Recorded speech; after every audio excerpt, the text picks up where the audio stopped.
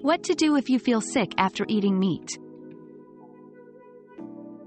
If you feel sick after eating meat, it is important to pay attention to your symptoms. Symptoms may include nausea, vomiting, diarrhea, abdominal pain, and bloating. Drink plenty of water to stay hydrated and rest as much as possible. You may also want to avoid eating solid foods until you feel better. If your symptoms persist or worsen, it is important to seek medical attention.